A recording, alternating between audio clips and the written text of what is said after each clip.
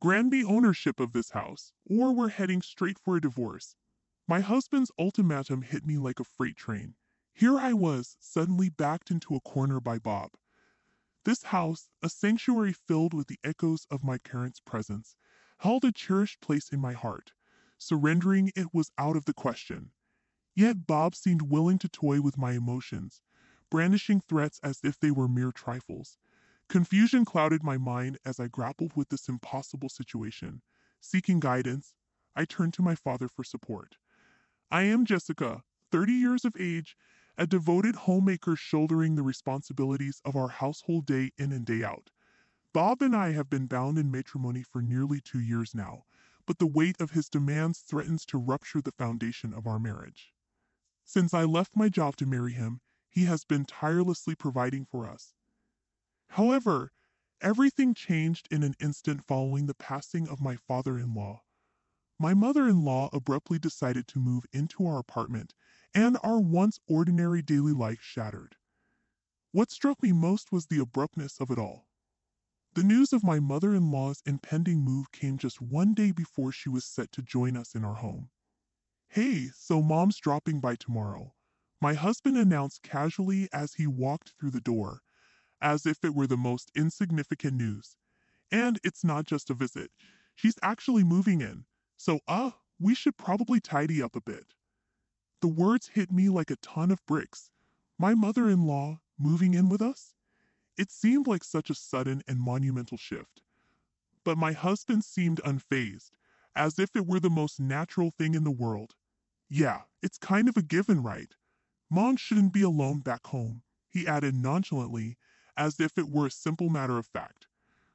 Reflecting on the situation, I couldn't shake the feeling that my husband's approach was somewhat unusual. Typically, a husband would discuss such a significant decision with his wife beforehand. Yet, in my case, it seemed as though the decision had been made before I was even consulted. True to my husband's words, the next afternoon, my mother in law arrived, bringing with her a substantial amount of baggage, both literal and figurative.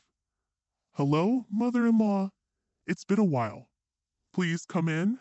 I greeted her warmly, but her expression seemed anything but pleased. Wait, Jessica, aren't you supposed to pick me up from the station?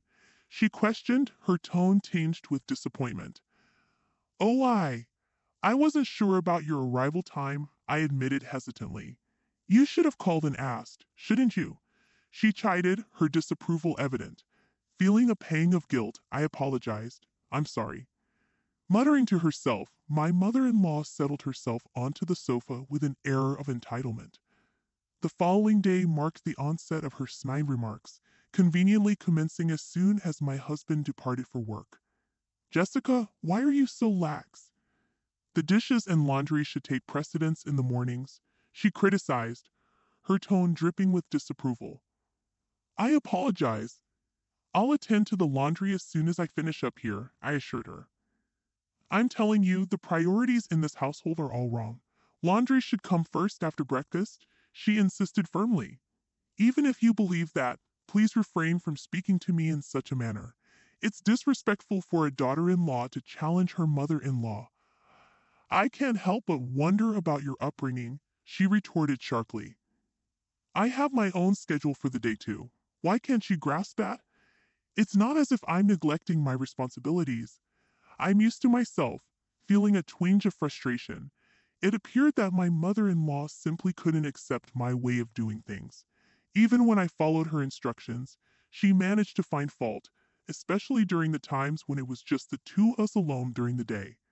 One day, a clandestine plan took shape in my mind a plan to liberate ourselves from living under the same roof as my mother in law. The strategy was simple we would relocate to a house that my father had bestowed upon me. With my parents having recently embarked on a rural lifestyle following my father's early retirement, they graciously handed over their former residence to me. Thankfully, the distance between our current apartment and the new house wasn't vast, and discussions about moving to a more spacious dwelling had already commenced. Enduring the ongoing presence of my mother in law, even for someone as resilient as myself, had become intolerable. If that were the case, I reasoned, it was preferable to expedite our departure, just my husband and me. With determination in my heart, I resolved to present this proposal to my husband without delay. Bob, can we talk for a moment? I have something on my mind. A discussion? What's up? You remember the house my dad gave us? How about we consider moving there? Oh, that house. We did talk about it for the future, but why the sudden interest? I've been having some difficulties with your mom. What? She hasn't mentioned anything like that. Anyhow, I'm finding it increasingly difficult to continue living with your mother, so I'm seriously contemplating a move. I understand. The new place isn't too far, and my mom can stay here in the apartment. To my surprise, my husband readily embraced the idea of moving. He discussed it with my mother in law, and within a week, we were preparing for the move. Frankly, I anticipated more resistance from her, but she agreed without much ado. Not only did she agree, but she also bid us farewell with a broad smile on her face. Bob, Jessica, take care. I apologize for the abrupt departure. No need to apologize. You have your father's house now, don't you? That's fantastic. Thank you. And please don't hesitate to visit us. Well, it's just a stone's throw away. We'll definitely come by often. Looking forward to it. After completing the necessary formalities, we made our way to our new abode. Deep down, a sense of relief washed over me. No longer would I have to endure my mother in law's cutting remarks. At last, we could reclaim our freedom. I had braced myself for potential resistance, but I was grateful for my courage in broaching the subject with Bob.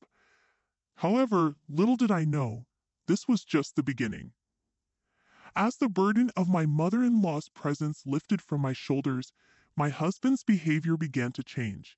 He started arriving home later and later, and there were even nights when he didn't return at all. It wasn't due to overtime or late night outings. He was spending his evenings with his mother. My mom needs me, my husband would insist. Yet the frequency of his absences was becoming too much to ignore. He would slip away to her place for meals without a word to me, or he'd be gone for entire days. As a result, my own daily rhythm was unraveling. It was becoming clear that something had to change. Finally, one day I decided to address the issue head on. Bob, don't you think you're spending too much time away from home? Really? But I'm only at my mom's. That's not the issue. Just give me a heads up. I end up preparing extra food unnecessarily. You could always have it the next day, Jessica. You're at home all the time. Just because I'm not around doesn't mean you don't need to be informed. Well, isn't that the reality? Being a stay at home wife means you're just lounging around at home, isn't it? What? Besides, I'm concerned about leaving my mom on her own. Ada will be back soon, and I have to discuss something with my mom about that. Ada is returning? Ada, my husband's younger sister, currently resides abroad for work. I was taken aback by the news of her impending return. But what exactly did my husband need to discuss with his mother regarding Ada's arrival? It's coming home, huh? But do we really have to involve mother in law in this discussion? I inquired, my curiosity piqued. Of course we do. Ada will be moving in with us, my husband confirmed. What really? Apparently, Ada has been accustomed to living in a fairly spacious home overseas, and now she's insisting on having something similar here. That's why I believe she'll end up staying in this house, my husband explained. What? This sudden twist left me utterly speechless. My sister in law moving into the house, we had just managed to escape from my mother in law's presence. And now this, wait a minute, Bob. This is the house my dad left me. Why would Ada? Well, you remember our old apartment where we used to live, right? Mother in law is living there now, and it's too cramped for her. So the only feasible option for a larger space is this one. Bob elaborated. Don't make decisions like that on your own. I never agreed to living with Ada, I protested. Oh, we won't be living together. We're giving the house to Ada, my husband clarified. What? What are you talking about? I exclaimed in disbelief. Look, we're moving back in with mother in law.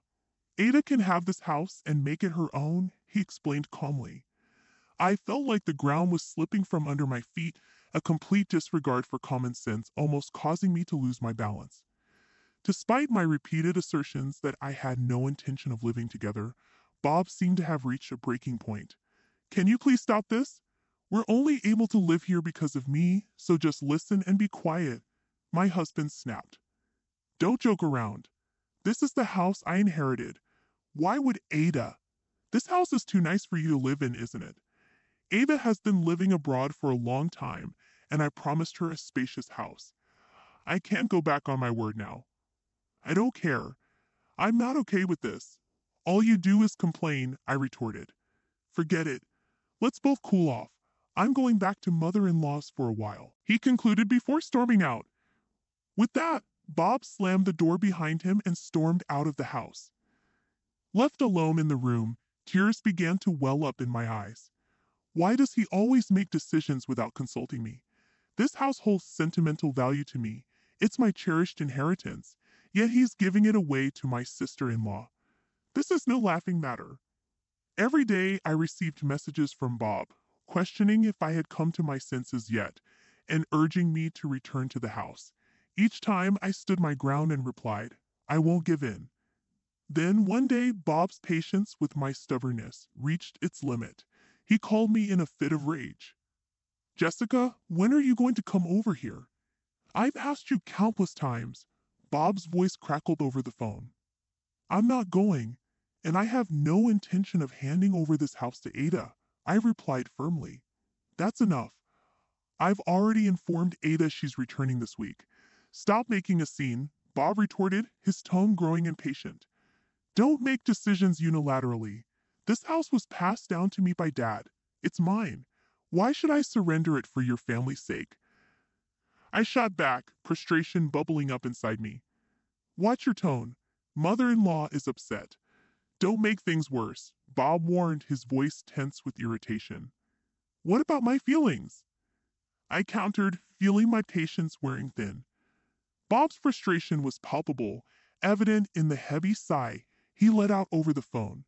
Then, unexpectedly, he dropped a bombshell. If you refuse to listen to me, we're getting a divorce. You understand. By tomorrow, and you'll leave the house to Ada. In that moment, any warmth I held for him turned cold. The way he wielded divorce as a threat was despicable, unforgivable. Disregarding my feelings and using divorce as a tool to enforce his will, could I let him get away with such behavior? Despite my simmering anger, my husband continued arrogantly, paying no heed to my emotional turmoil. Do you comprehend? If you don't vacate by tomorrow, we're ending our marriage. Are you truly serious? I questioned incredulously. Absolutely. You have no say in the matter.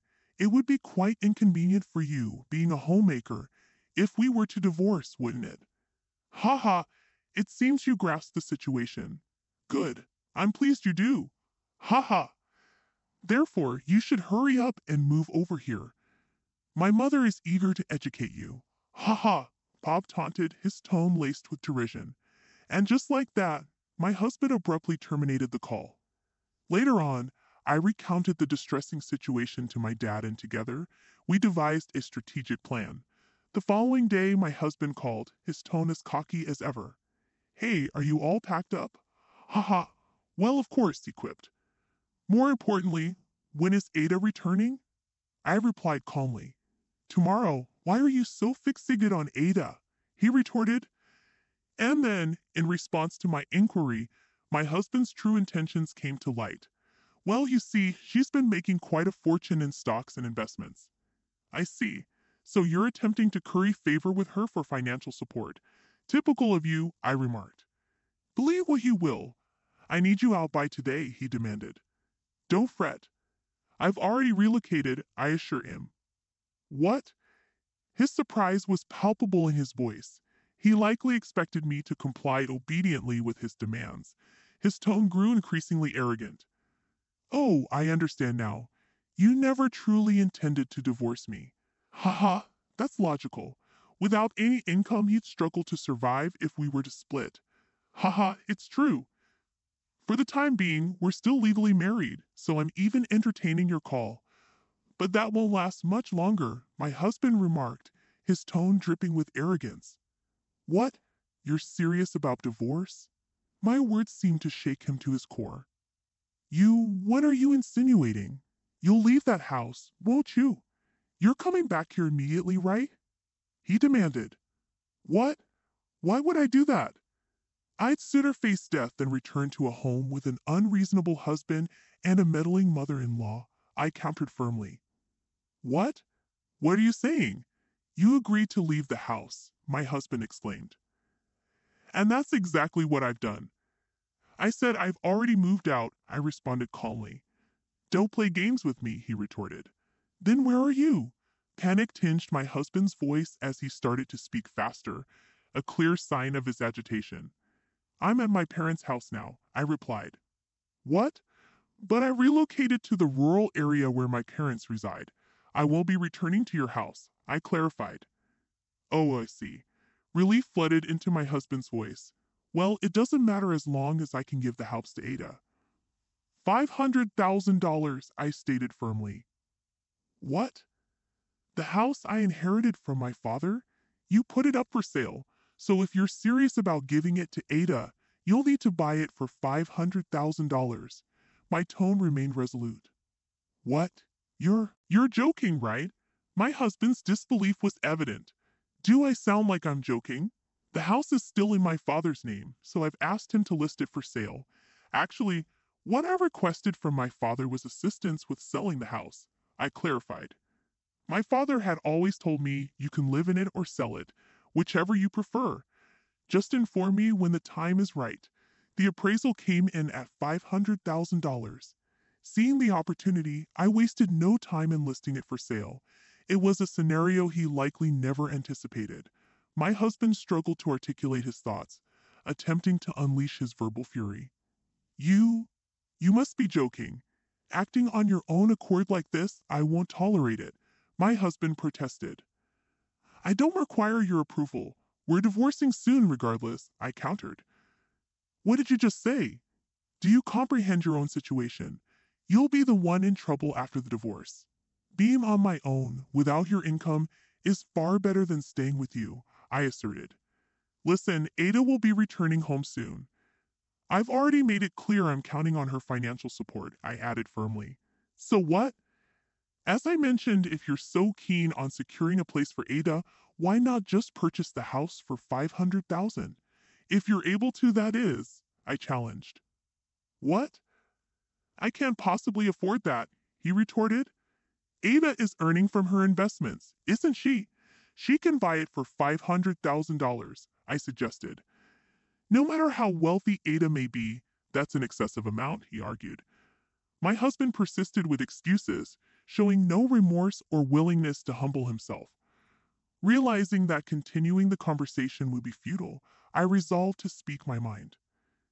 I have no patience for the antics of a foolish mother and son. Did you truly believe that threatening me with divorce would compel me to obediently surrender the house? If you presumed that I would comply with your every whim simply because I'm a housewife, you're sorely mistaken. Hey, just calm down, he interjected. I am calm. It's you who should be panicking right now, isn't it? I refuse to blindly follow your commands. I categorically reject any further ties with your family. Stay out of my life forever. To hell with you and your precious mother, you jerk. I shouted loud enough for the neighbors to hear before abruptly hanging up the phone. Without hesitation, I blocked his number, severing all communication with my husband. Following that, I sought out a lawyer I trusted and initiated divorce proceedings. Despite the challenges, I ultimately succeeded in divorcing him on the grounds of his misconduct. As far as I know, he continues to reside in the condo with his mother in law. With my sister in law's impending return, they couldn't arrange for a larger residence. In the end, she flew back overseas in a fit of anger, exclaiming, This isn't what we agreed upon. My ex husband's scheme to seek financial aid from his investment savvy sister in law collapsed miserably. Presently, it seems they're barely getting by with the alimony I receive and the living expenses for his mother-in-law. With him still entangled in the demands of his mother-in-law, prospects for improvement seem bleak. On the contrary, I've been enjoying a peaceful life in the countryside with my parents since relocating. Recently, through a neighbor's recommendation, I secured a job as an office worker at a local orchard, providing me with a respectable income. For the time being, I intend to remain here, maintaining proximity to my parents to repay their kindness.